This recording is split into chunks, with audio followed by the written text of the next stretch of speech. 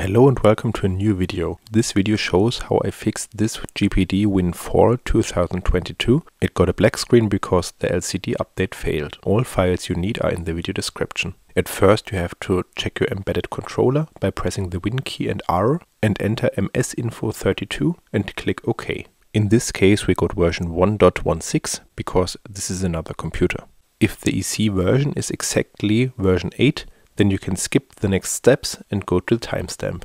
If your EC version is higher or lower than 8.0, then you have to do an update or downgrade. Take a USB flash drive and format it with FAT32 system. Then copy the files of the BIOS v08.00 folder to its root folder. Do not copy the folder to it, copy its contents to it. After that, eject the flash drive and shut down your Win4. Connect the charger to it.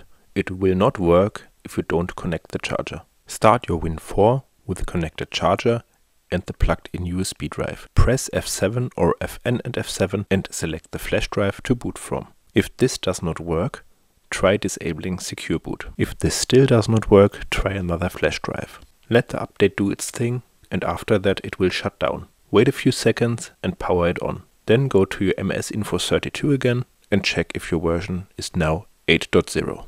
Now go to your power settings and make sure turn off the display and put the computer to sleep is set to never.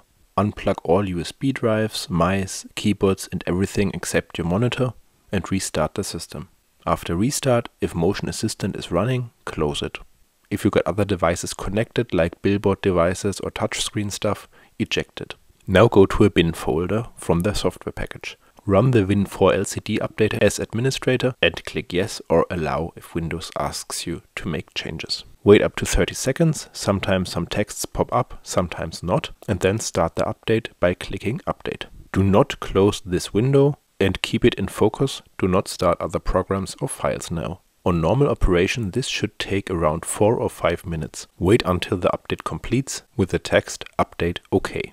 If this does not work, restart the system and try another WinLCD update exe from another bin folder. If this still does not work, try a exe file from the WinIO changed bins folder. In this folder I use another WinIO software version. If this still does not work, as it was the case by my system, try a fresh Windows 10 install. I changed the SSD for that and installed a fresh Windows. I used version Win10 22H2 German version 64 bits from WinFuture DE. Do not make any adjustments to the fresh Windows install except the energy settings. The video in the background is sped up 1.5 times. After the update is okay, close the program, wait one minute and restart the system.